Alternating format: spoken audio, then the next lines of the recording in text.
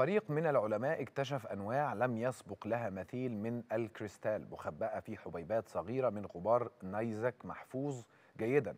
خلف الغبار صخرة فضائية ضخمة انفجرت في روسيا قبل تسع سنوات وفي 15 فبراير 2013 دخل كويكب بيبلغ قطره 18 متر وزنه 12125 طن دخل الغلاف الجوي الأرضي.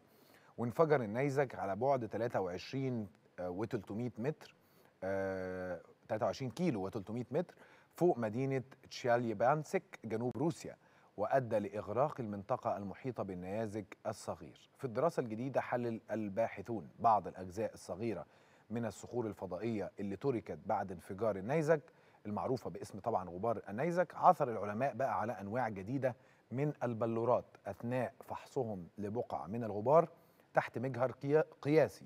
بعد تحليله بهذا المجهر الإلكتروني الأكثر قوة وجد العلماء مزيد من البلورات وقاموا بفحصها بتفاصيل أكبر وكشف كمان العلماء آه، في هذه الدراسة عن أصداف شبه الكروية وقضبان سداسية شبه كروية وكلاهم خصائص شكلية فريدة.